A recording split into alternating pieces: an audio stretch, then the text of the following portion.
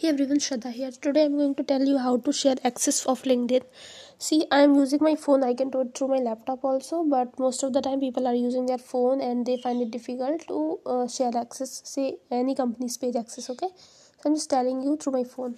You can see it right here. Firstly, you need to click on your profile photo that you can see it here top okay then go downside click on your page or uh, company's account where you want to share access now this is company's page and in order to provide somebody's access you need to go through this setting option that you can find uh, left hand side down side sub, uh, uh, like bottom option सबसे नीचे वाला option है okay then you need to click there on settings come here then you can see manage admins at first point click there here you can see uh, add somebody if i talk about um, so you just need to like add some, write somebody's name and then you can click their name. If i okay let me just try it with this.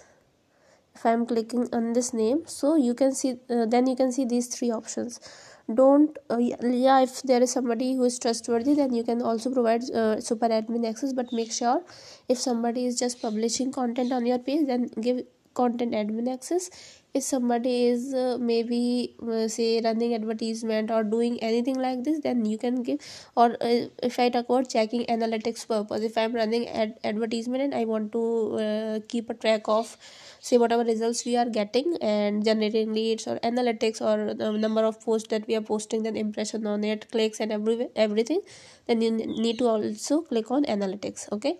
And when you are giving content admin access to somebody so you can uh, so that person will be able to see analytics also or export analytics or um, see post to post analytics. If i have click uh, if i have posted 10 posts so based on each post i can just go and i can check everything. Number of clicks impressions views and number of follows that we have got and uh, leads conversion everything we can get from each post okay? So yeah just want to talk about this. If you like this video please subscribe to my channel like comment share and if you want to come any topic just let me know. I will be covering that topic too. Stay tuned bye and take care